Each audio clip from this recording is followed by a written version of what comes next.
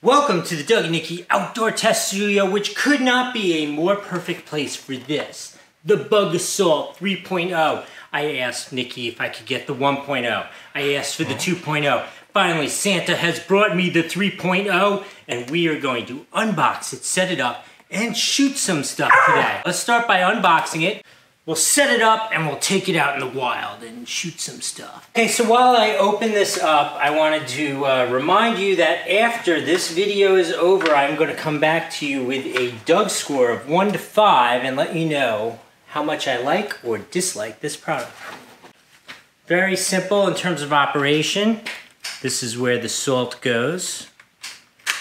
You pump it up, release the safety, and bam! You waste that bug. Let me go put some salt in it. I'll set up a target and let's see how it works. Here's the mission that I have accepted. I need to kill these spiders with the Bug-A-Salt. Let's give it a shot.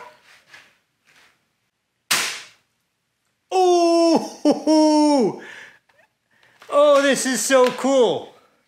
Let's try over here you can see. So obviously you're supposed to be shooting at little bugs and stuff like this. This full-size piece of paper is being moved by the force of the salt hitting it.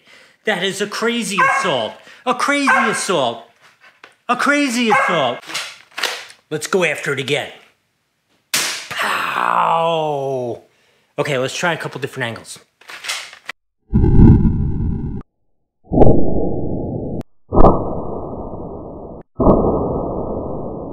Okay, soldiers, that ends this bug assault with an absolute victory. That is a phenomenal 5 out of 5 score. I don't need these anymore for this. Go get this.